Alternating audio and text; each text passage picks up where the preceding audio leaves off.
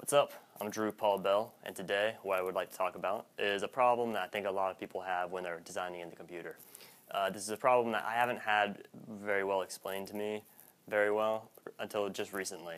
And uh, the problem with designing in the computer when you're doing like digital modeling is that you usually can either see either the whole thing at once or a postage stamp size of an image. So it's kind of like this, what I want to show you guys. Okay, so I think zooming in and out of a virtual model is very similar to being able to only zoom in and out with a camera on boards.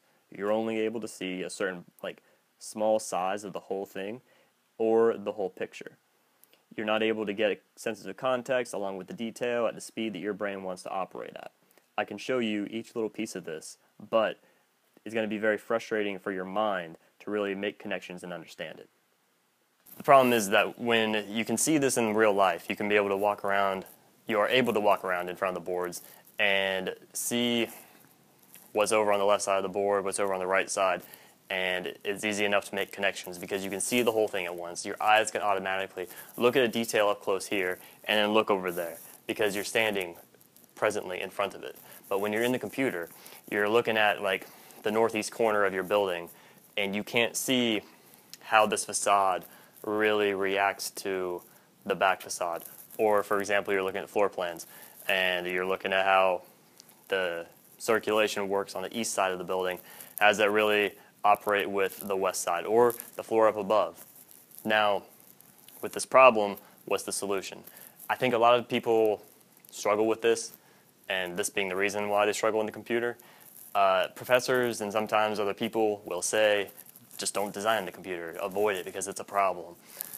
Well, we can avoid it or we can come up with a solution. The solution is this print your stuff out. Because when I was designing my floor plans on this building, I, I was running into problems where it was hard to make a decision because I needed to reference something that was on a, a floor up above. And when I printed it out, I could now tell that, hey, this atrium space doesn't make sense to be in front of the room that's over here up on the third floor and stuff like that. So print out your stuff. That will help you get out of the problem of the zoom uh, in the computer, the limitation of looking at something really, really freaking close or so freaking far away that you can't tell the details. I don't know why I'm yelling. My mic's right here. But anyway, that's what I have to talk about for today. Uh, I hope this helps, and I'll talk to you next time. Peace.